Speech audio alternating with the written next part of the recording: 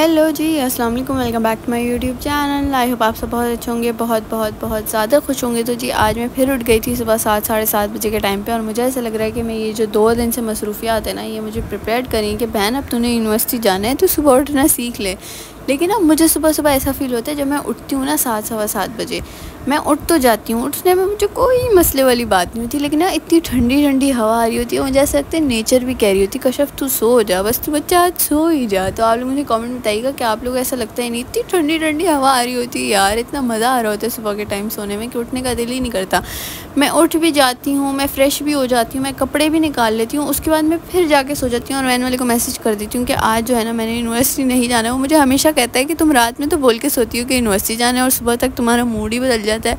बस मैं कहती हूँ, क्या बोलूँ यार, नींद सबसे ज़्यादा ज़रूरी है। खैर जी, फिर हमने जो है मिलाद अटेंड करनी थी, स्कूल जाना था बच्चों के, वो हमने अटेंड अटेंड कर लिया था। और वहाँ पे ना सबसे मुझे एक बुरी चीज़ ये लगी कि वही टीचर्स जो पेरेंट्स के साथ इतना अच्छा बिहेव कर रही थी, उनको इतने तरीके से डील कर रही थी, वही स्टूडेंट्स के साथ इतना बुरा बिहेव कर रही थी। ये चीज़ मुझे सबसे ज़्यादा बुरी लगती है, चाहे वो कोई भी स्कूल हो, मैंने दो तीन और भी स्कूल्स में देखा है, कि उनका स्टूडेंट्स के साथ बिल्कुल अपोजिट बिहेवियर होता है और टीचर के साथ ना टीचर कह रही हूँ पेरेंट्स के साथ बिल्कुल अपोजिट बिहेवियर होता है। ये चीज़ मुझे ज़रा भी पसंद नहीं आता ये बहुत ही कोई अजीब सी बात है कि इतने छोटे छोटे बच्चे हैं, उनको भी आप इतने बुरे तरीके से ट्रीट कर रहे हो और आप जो है पच्चीस पच्चीस हज़ार भी फ़ीस ले रहे हो, फिर भी कोई हाल नहीं है। खैर जी, फिर जो है हमने कहा, अब कौन घर जाए, घर जाके नाश्ता करे, बनाए, खाए?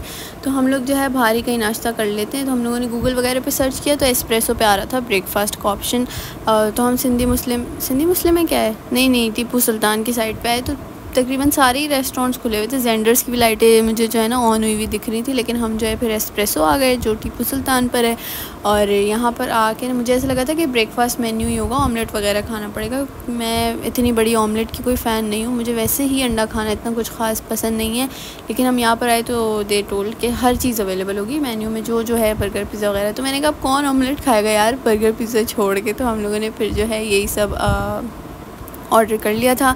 अच्छा यहाँ पे आके फ्राइडे वाले दिन था, लेकिन मुझे लगा था रश नहीं होगी, क्योंकि सुबह नौ, साढ़े नौ बजे का टाइम हो रहा था, लेकिन फिर भी हमें आधा घंटा जो है वेट करना पड़ा। हम वेटिंग में बैठे रहे और उसके बाद जाके जो है, हमें जगह मिली। खैर जी, हमने जो है यहाँ पर ट्राई किया था।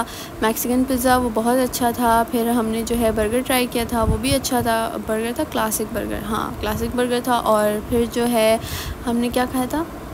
हमने खाया था क्लब सैंडविच मैंने नहीं खाया था मुझे पसंद नहीं है क्लब सैंडविच खाना बाकी इनके फ़्राइज़ भी बहुत अच्छे फ़्राइज़ के साथ जो डिप था ना स्प्रेसो फ्राइज़ के साथ वो बहुत अच्छा था और आ, आ, पीच स्लशी थी वो भी बस सही सही थी इतनी अच्छी नहीं थी गालिब की ज़रा मुझे ज़्यादा इसके कंपैरिजन में अच्छी लगी लाटे भी बहुत अच्छी थी और कैपेचिनो भी आप ही कह रही थी कि अच्छी है तो बिल जो था यहाँ पे थोड़ा मतलब मुझे ये प्राइसी लगा, थोड़ा नहीं, बहुत ज़्यादा प्राइसी लगा। इस, इन्हीं पैसों में हम कहीं शायद चार दफ़ा चार दफ़ा कह रही चार दफ़ा जाके खाना खा सकते थे। खैर जी पे मैं इतना थकी हुई थी कि मैं घर आके सो गई थी और मम्मा ने मुझे जो है दो ढाई बजे के टाइम पे उठाया कि तुम्हारा कोई पार्सल वगैरह है। मैंने कुछ दिन पहले, तीन चार दिन पहले ही जेंट्स फार्म का सन ब्लॉक ऑर्डर किया था।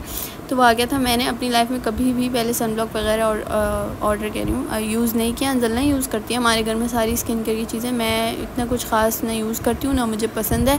लेकिन जो है मैंने कहा अंजला को कि मैं बाहर जा रही हूँ, मुझे ऐसा लग रहा है कि मेरी स्किन थोड़ी टेंस सी हो रही है तो उसने मुझे रिकमेंड किया कि तुम ये ऑर्डर कर लो।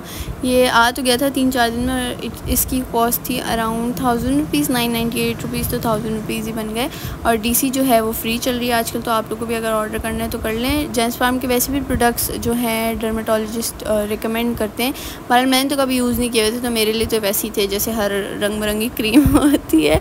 बाल इनका फेस वॉश जो है, मैंने एक दो दिन इस्तेमाल किया तो उससे मेरी ये कि एक्नी मुझे अभी निकल रही है। तो अंजला ने मुझे ये बताया कि इनके प्रोडक्ट्स में ये होता है कि आपकी एक्नी वगैरह जो भी चीज़ होती है, वो एक बार ही, एक बार कह रही हूँ, एक बार ही सारी निकल जाती है और उसके बाद जो है फिर वो रिकवर होना स्टार्ट होती है। इसमें खैर ये एक दो जो थे वाउचर्स थे, एक फ्री सैंपल था फेस वॉश का जो मैंने यूज़ किया फेस वॉश भी मैं सोच रही हूँ इनको ऑर्डर करूँ, लेकिन सबसे पहले जो है मैं सन ब्लॉक यूज़ करूँगी, उसके बाद और सन ब्लॉक भी मैं तीन चार दिन से जो है वो यूज़ कर रही हूँ रेगुलरली फिर अगर मुझे कुछ अच्छा रिज़ल्ट दिखा या कुछ इम्प्रूवमेंट दिखी तो मैं आप लोग को कॉमेंट में कॉमेंट में कह रही हूँ। आप लोग को नेक्स्ट वीडियो में ज़रूर बताऊँगी और आप लोग को पता है कि इनके प्रोडक्ट्स कैसे हैं, आप लोगों ने यूज़ किए हैं तो मुझे कॉमेंट में ज़रूर बताइएगा। था भी एस पी एफ़ हंड्रेड और मैंने सुना अच्छा होता है।